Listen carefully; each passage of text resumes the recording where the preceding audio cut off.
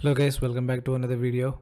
The previous video we have learned about one hack using SE16 where we have modified some records in a standard table by using SE16 interface and debugging mode. We also found where we can track these changes. If you haven't seen it, please go through the previous video and have a look at it. The next thing that I want to share is testing BAPIs or FMs using sequence option. This is a very interesting option given in uh, SE37 transaction where we can execute multiple FMs in a sequence. Whenever you want to test a BAPI or an FM, we actually go to SE37 transaction and we click on F8 button. We'll provide the inputs. The transaction will get executed. So that actually restrict us to execute FM only once. If you want to execute further FMs from where we left, it is not possible. So there is an option called sequence which we can use to execute multiple uh, BAPIs at a time. And the example is suppose there is a BAPI bank create. Whenever you perform a bank create and you have to do the changes, commit changes, and also as soon as the the data is saved, we have to send notify to the bank that the, your bank is successfully created. This is a very basic example that I have taken. Before we actually execute this example, let me try to execute in a normal way. Here I am in SE37. When I click on F8, this is how I can execute. So I can provide a bank, sorry, a country key here and also a bank key, which is 8 character long. I'll say you can provide other information as well. Now if I execute this, I don't see any errors. So hopefully my bank is created. So let me check in the database. The b and k is my table.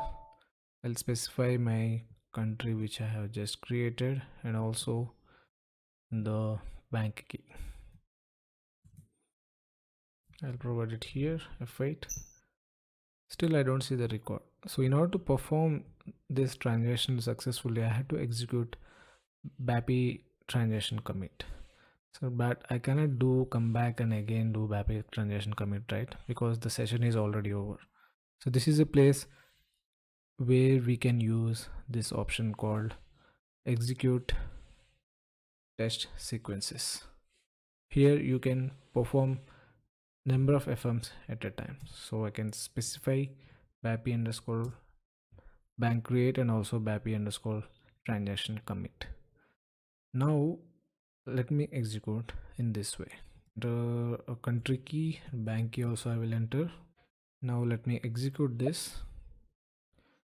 There are no errors. When i come back here now this my control will take me to the second bapi uh, test environment. Here i can provide x wait as x. Now if i do f8 what are the bank that i've created? I have given the bank key as 28 now if i execute this successfully my bank key is created.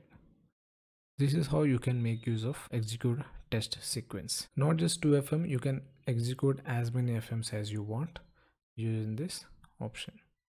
Okay this is how you can use sequence to test a different bapis at a time so that will make sure that your transaction goes smoothly. And you can start writing the code once you are confident that these fms are executing successfully that is a good practice before you write a code and make sure all the fms that you are going to use are working perfectly with the data that you have.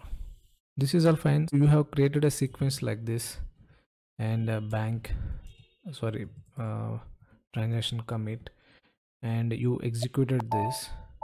Let me create one more thing. I just want to share another tip here.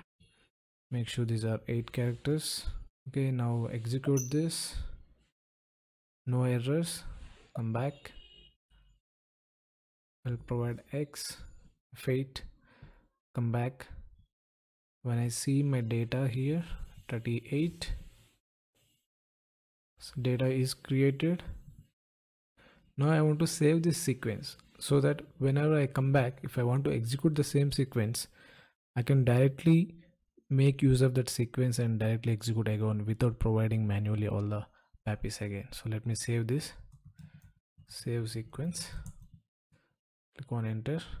Now when you go to function module execute test sequence. Using this button you can get the sequence that you have saved earlier. Double click here and you will get all the BAPIs which you have saved earlier and you can start testing right away. I hope you like this hack and you can use this tip for your development before you actually code. So this is always a good idea to test what are the FMs that you are going to use in your development. It will make sure your development won't get stuck. Hope you like this video. Thank you so much for watching.